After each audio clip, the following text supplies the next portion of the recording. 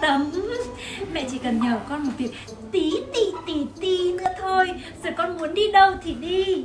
Dạ Tình hình ấy là cái tiktok của mẹ dạo này nó tương tác nó hơi thấp. Nên là con vào cái nick tiktok của mẹ Thấy cái video nào mà chưa thả tim thì con thả tim. Mà thấy video nào mà nó thả tim rồi thì con comment cho nó tăng tương tác. Đúng rồi đấy. Ôi mẹ ơi, cái nick tiktok của mẹ phải đến 4 năm nghìn cái video nhảm nhí. Ơ cái con này Thế thì con phải thả tim với cả comment đến bao giờ ạ? À? Lần ấy thì đã ăn thua gì À mẹ vừa quay vài chục cái video mới Thì con vào chỉnh sửa cho mẹ à, Làm cho mẹ da mẹ trắng này Mẹ xinh, chân mẹ dài như siêu mẫu con nhá Mẹ già rồi mẹ vẫn còn ham hố ạ Mẹ già rồi mẹ vẫn còn ham hố Ơ, Thế mà chị nói thế là chị chê mẹ già, mẹ xấu, mẹ đầu gấu, mẹ ham ăn à?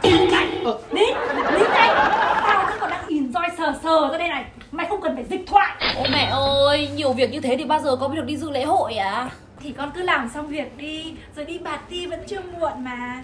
Cám. Dạ. Búc xe ngựa cho mẹ đi party nào. Vâng mẹ, mẹ con mình đi thôi nhỉ? À,